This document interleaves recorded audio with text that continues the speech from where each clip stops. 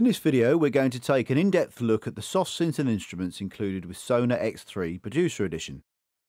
Although there's some crossover, they can be broadly divided into two types. First, they are the instrument type. They mimic or reproduce the traditional instruments such as drums, guitar, piano, etc. The other types are the synthesizers that create sounds using oscillators, filters, envelopes and LFOs to produce a more electronic sounding instrument.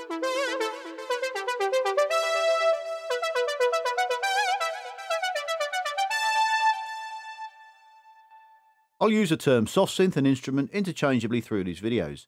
There's no difference in how they are inserted and routed, although some have more audio outputs and use more MIDI channels than others. All that we covered later when we take a look at each one in turn. We'll also take a good look at the basics of MIDI and synths, for example, what the jargon such as LFOs, ADSR envelopes and oscillators mean. We'll look at how a synth signal is routed to produce the sounds. So let's get on with some of the basics and we'll start by inserting a soft synth into SONAR and look at the various track options. Probably the easiest way to find and insert the soft synths in SONAR is to use the plugin browser.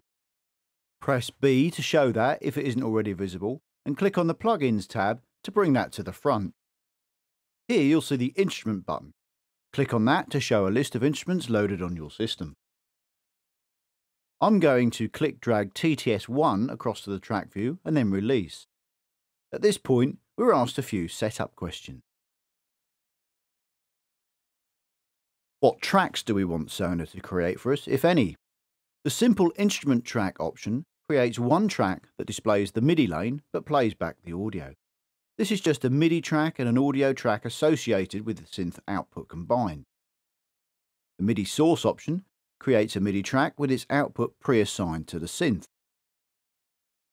Synth track folder will create a folder for all of the various tracks associated with the synth. First synth audio output creates an audio track for the synth first output. Usually, it's the main output, while there are also choices for all synth audio outputs, both stereo and mono, which create the relevant track for each synth output. I'll explain the synth outputs in more detail later. Some have multiple outputs, some just a single output. You'll hear me refer to these tracks as either synth track or instrument track. Many of these choices are mutually exclusive. For example, you can't create a simple instrument track and a MIDI source or audio output, as that wouldn't make any sense, the reasons for that I'll explain soon. We can choose whether to open the synth's properties page or interface, or display the synth rack which is in the browser. Here you'll find all of the synths that are open in the project. Some synths are capable of generating MIDI data, and Enable MIDI Output, if checked, will allow that generated MIDI data to be rerouted, perhaps for recording onto another track. Although we won't be looking at automation in this video, it's possible to assign any track within the project to display any automation on. Using this, you could have several synths in a project with the automation for all of them on the same track. That may make editing automation easier. Recall assignable controls will automatically generate any assigned controls that you have previously assigned to that synth in the synth rack. Details of that are also beyond the scope of this video. For now, I'm going to just select the simple instrument track option and click OK. We now have the SIT or SIT created, that's just a simple instrument track, and it's assigned to TTS1. We can see TTS1 is present in the synth rack. I'm going to repeat that, but this time instead of creating a SIT, I'm going to create a MIDI track and the first audio output track. Some instruments have the capability of using multiple outputs, Many drum synths, for example, can output each kit piece to its own output for greater control. We'll look at that ability later, but if you want every output track created automatically, choose that option in the Insert Synth dialog. You'll see the two tracks appear and also notice that another instance of TTS1 has been added to the synth rack. For some of the single channel soft synths, this is the only way to play two different sounds using the same synth. Each instance is assigned its own sound and output. As we'll see later though, some synths can output on up to 16 channels. We'll look at what all of that means shortly. Although I've used drag and drop for synth insertion, There are also track templates available from the track header right click context menu, which will insert the chosen synth and associated tracks. We looked briefly at the synth rack earlier, and synths can also be added here using the Add Synth button. So now let's take a look at some of the basics of MIDI. If you're new to MIDI, you may well find this section useful. If you're already fairly au fait with it, you might like to skip this part. So what is MIDI? MIDI is an acronym for Musical Instrument Digital Interface, which might be a little misleading, as MIDI can not only be used to control instruments, but can also be used to control other musical equipment such as effects processors and even light units. But that's beyond this video. The most important thing to know is that MIDI is not sound. You can't hear it. MIDI is simply data, a set of instructions that can be sent to a synth or other piece of equipment that understands MIDI to control it. In the case of this video, we are interested in synths, and synths can follow these MIDI instructions to produce sound and produce the audio that we hear.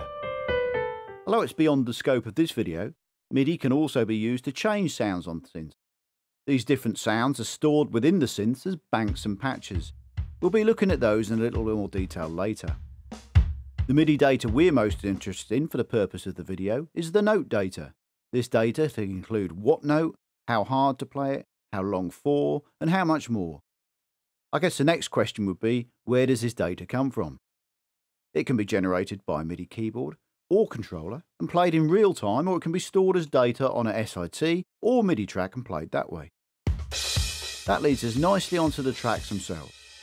We'll take a look at the separate MIDI and associated audio track first. In my setup, I use different coloured track names to make it easier to differentiate track types. The MIDI track is green, the associated synth or instrument track is blue, and simple instrument tracks are pink. The MIDI track is the starting point. This is where the MIDI data is recorded onto or played through if using a keyboard. You can also drag MIDI clips onto it. Let's take a quick look at the setup. The first thing I want to mention is Input Echo. This is the button to the right of the Mute, Solo and Record buttons. This controls whether the track responds to the incoming MIDI data of a controller or not. To make the track respond it needs to be lit, and depending on your preferences, it may be turned on automatically when a track is given focus. If not, it can be turned on or off by clicking on it. Now's a good time to talk about MIDI ports and channels. A port is just a term used to refer to each separate MIDI device. Note that some pieces of equipment have more than one MIDI port, effectively meaning there are two or more devices in one and can be used as such. For example, my PCR keyboard has two ports, one is used for transmitting note data from the traditional piano keyboard, allowing me to play synths. The other is used for transmitting control surface data from its sliders and knobs, allowing me to control Sonar or the synth controls with that section. The MIDI definition allows up to 16 channels, so each port can have up to 16. Each channel is independent from the other. This makes it possible for some synths to play back 16 different sounds or parts all at the same time. Note though that some synths can only use one channel.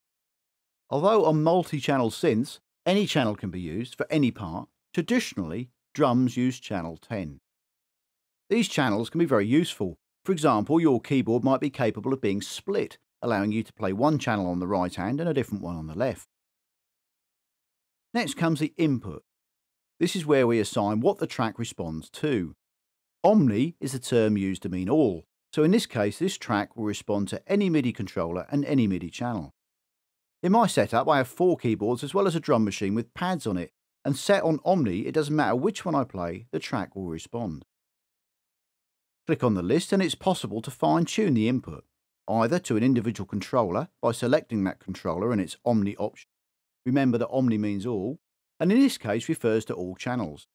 Alternatively, choose an individual controller and channel. All other controllers and channels will then be ignored. Because these tracks were created when the synth was inserted, the output's pre-assigned to that synth, in this case TTS1. It could be changed here if required though, and available MIDI ports are listed in the drop-down selector. What you see here will depend on your setup and how many soft synths you have inserted in the project.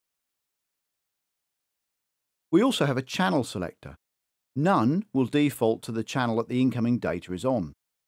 Select the required channel to change it. For most of this video, I'll be using channel 1 except for the drum machines or when demoing the multi-channel capabilities of some of the synths. That's followed by banks and patches. I've mentioned these briefly already. A patch is where a sound is stored by a synth. That might be a piano patch, or perhaps a guitar, or some exotic sounding name such as Alpha Centauri, which is one of the factory patches in the Synth Zeta 2, which we'll look at later. Sometimes these patches might be referred to as programs. Patches are grouped into collections or groups known as banks. A bank can typically hold up to either 128 or 256 patches. Some synths have lots of banks, some might only have one. These two drop downs are one way of changing the sound that some synths play. Some synths can only have patches and banks selected from within the synth and effectively ignore these controls. There is an effects bin that can be used to insert MIDI effects. To summarise then, the MIDI track is where the data originates from and it is then sent from here to the synth where it's translated into audio. The synth then outputs that audio to one of its outputs. We need an audio track for that output to come back to. This is where the synth or instrument track comes in. This is just an audio track whose input is assigned to a synth's output. In this case, it's pre-assigned because it was created when the synth was inserted. This track has all the usual audio track controls except the record button. Instead, where the record widget would usually be, there's an additional widget known as the waveform preview button. If this is turned on, a virtual waveform is generated in a track pane when the transport's running as a track plays back. There's also an output selector that allows us to set the output bus, be that to a downstream group bus or the master bus. This also has an effects bin, but this one is used to insert audio effects. To summarise the routing in this two-track MIDI and instrument track setup, the MIDI data originates from the MIDI track where the channel, bank and patch selection can be made. The data is assigned to the synth assigned by the track output. The synth uses the data to create sound and then plays it back via its outputs to a track called a synth track. Here we have further control over it. For example, we can control pan, volume, or add audio effects. Finally, this track outputs the audio to a downstream bus. Now we've covered the MIDI and instrument track pair, let's take a look at a simple instrument track. The first thing you'll notice is that the SIT only takes up one track space vertically, whereas the MIDI and associated synth audio track take twice as much space.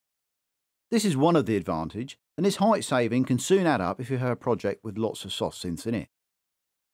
The track still has an input echo button, and just like a MIDI track that needs to be lit if we want the track to respond to MIDI data from a controller or keyboard. The track itself displays any MIDI data present on the track. One of the disadvantages of a SIT is that the waveform cannot be previewed. There's an input drop down for input selection with exactly the same choices as found on a MIDI track. The output selector brings us to one of the differences between a SIT and the pair of tracks. A SIT output has the same output choice as an instrument audio track. This may leave you wondering how you'd change synths using a SIT, and the answer is you can't from the track view. We need to either open the inspector or split the track, which we'll look at shortly. The other selectors match these found on a MIDI track, namely channel, bank and patch.